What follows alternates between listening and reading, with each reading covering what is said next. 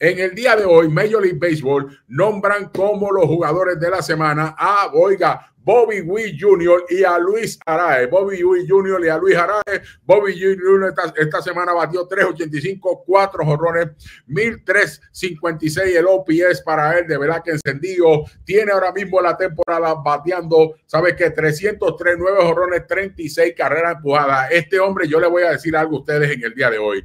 Pronto va a ganar un MVP en la Grandes Ligas. Este muchacho tiene todas las habilidades para 30, 30 y también 100 carreras empujadas oiga, especial. Y Luis Araez, Luis Araez, desde que llegó a San Diego, hoy empezó la temporada de 18-0, de 1-25, pero sabes que no ha parado de dar desde que llegó al equipo de San Diego, liderando la Grande Liga, batió 4-72, 17 hits, 1083 el OPS en esta semana. Oiga, bateando en los últimos siete días 400 14, los últimos 15, 385 y en los últimos 30, 376 en el día de hoy. Y vamos a traer a Carlito Feo para que entre con nosotros y poder hablar de lo que está haciendo el Caballete Araez. Bendiciones, Carlito. ¿Cómo estamos, hermano? ¿Todo bien?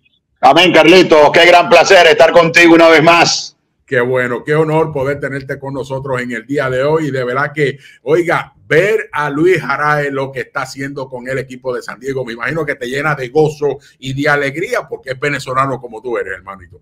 Sí, y, más allá de eso, Carlos, eh, a Rae lo tenemos jugando con Magallanes desde los 18, 19 años. Ah. Eh, lo, lo, pusieron a jugar aquí, aquí todos los días y desde, desde que comenzó se veía que era, que era un bateador excepcional. Cuando comenzó era imposible, Carlos, ver a Rae dar un, batazo hacia su banda. Todo era del medio hacia la izquierda, del medio hacia la izquierda. Y él ha explicado eh, en las entrevistas recientes que él aprendió a batear de esa manera por supuesto, fue a medida que fue avanzando, fue eh, tomando el ritmo, fue comenzando también a batear por su banda. Y estamos hablando de un hombre que, sin contar lo que haya hecho esta noche, tiene 452 hits entre las dos campañas, el título de bateo y lo que va de este, el apodo perfecto, una regadera a Raes. De verdad que es impresionante lo que hace todos los días y de verdad que la gente pensaba que ella se acabó. Tiene ahora mismo Mookie Betts se fue adelante porque Mookie Betts estos días ha estado caliente también con los números, pero está batiendo 330, líder en hit en las grandes ligas ahora mismo con 76. Mookie Betts tiene 75, pero de verdad que es impresionante lo que está haciendo Luis Araez todos los días. Te quiero hacer una pregunta. ¿Te gusta este pelotero Bobby Witt Jr.? Ese es un fenómeno, Carlos. Ese, ese, ese, ese pelotero ya tiene, ya tiene un 30-30. Es un shortstop que es un lujo verlo jugar. Tiene fuerza por todos los, lados del parque. Eh, eh, yo creo que es una de las caras del juego.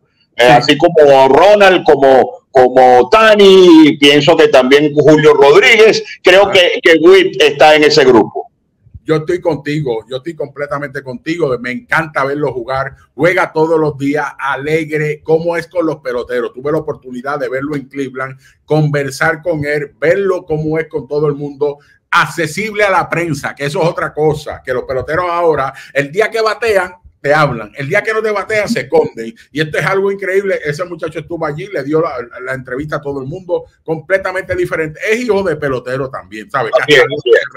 y sabe lo que conlleva, sabe que el, estrella, el estrellato, pero de verdad, sinceramente, me quito el sombrero. Pero entiendo que Luis Araez, te tengo que hacer esta pregunta porque se la he hecho ya para la gente.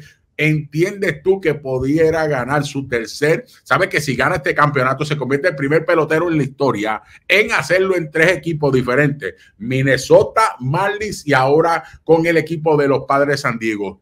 ¿Tienes tú, tú crees que tiene la oportunidad de hacerlo?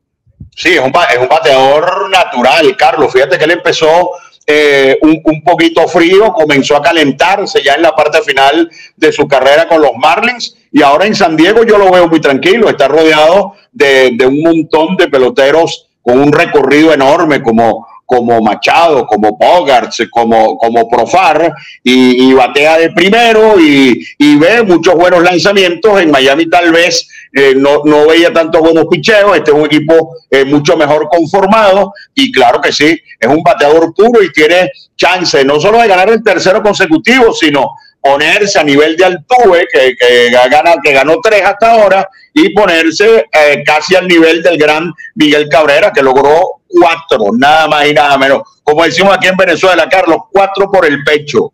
El caballo Miguel Cabrera y Arraez va encaminado, eh, seguro. Como decimos, la pelea es peleando, pero ya emparejó la carrera. Ahora vamos a esperar. La temporada es muy larga, pero es un lujo verlo regar el terreno.